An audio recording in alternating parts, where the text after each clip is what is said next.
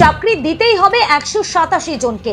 নির্দেশ ছিল হাইকোর্টে। পর্ষদকে করার নির্দেশ দিয়েছিলেন বিচারপতি গঙ্গোপাধ্যায়। অবশেষে ইন্টারভিউ হলো তাদের। যুদ্ধ জয়ের কয়েক ধাপ আগে ওরা। দেখুন, দীর্ঘ আইনি লড়াইয়ের পর কিছুটা আশার আলো দেখলেন একশো সাতাশি জন।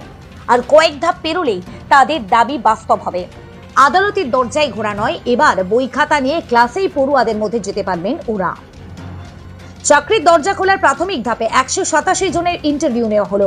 সোমবার সল্টলেকের করুণাময়ীতে প্রাথমিক শিক্ষা পর্ষদের অফিসে ইন্টারভিউর জন্য হাজির হয়েছিলেন ওই একশো সাতাশি জন।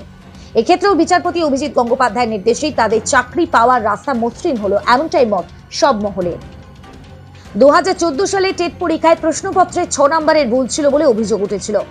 নম্বর না পাওয়ায় কিছু পরীক্ষার্থী আদালতে মামলা করলে বিষয়টি সামনে আসে। হাইকোর্ট পরীক্ষার্থীদের এই ছ নাম্বার দেওয়ার জন্য পর্ষদকে নির্দেশ দিলেও জট তৈরি হয় অন্য জায়গায়। পর্ষদ ওই ছয় নাম্বার আবেদনকারীদের দিলেও জানায় যে তারা চাকরি পাবে না। ফলে নতুন করে আদালতে মামলা ওঠে আবার। বিচারপতি অভিজিৎ গঙ্গোপাধ্যায় সরাসরি তখন বলেন, এটি পর্ষদের ভুলের কারণে হয়েছে। তাদের চাকরির ব্যবস্থা সেই কারণে পর্ষদকেই করতে হবে। পর্ষদকেই সেই ভুল শুধরে নিতে হবে। এরপর আর সেই নির্দেশ উপেক্ষা করতে পারেনি পর্ষদ। চাকরি প্রার্থীরা আদালতে দাবি করেছিলেন, তাদের প্রশিক্ষণ নেওয়া রয়েছে। এছাড়া ওই ছয় নাম্বার দেওয়া হলে তারা পাশ করে যেতেন। দীর্ঘ লড়াইয়ের পর অবশেষে তারা চাকরি পাচ্ছেন।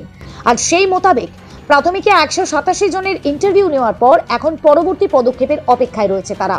তবে এক নজরে দেখুন গোটা ঘটনা। টেট পরীক্ষার বিজ্ঞপ্তি বেরোয় দু সালে। লিখিত পরীক্ষা হয় দুহাজার পনেরো সালের অক্টোবরে। তেইশ লক্ষের বেশি পরীক্ষার্থী পরীক্ষায় বসেছিলেন। এক লক্ষ পঁচিশ হাজার পাশ করেন। কয়েকজন প্রশ্নের ভুল নিয়ে মামলা করে।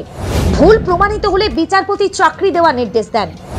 নির্দেশ মতো ইন্টারভিউ হলো একশো সাতাশি জন চাকরি প্রার্থী বিচারপতি অভিজিৎ গঙ্গোপাধ্যায় চাকরি প্রার্থীদের পক্ষেই মত দিয়েছেন।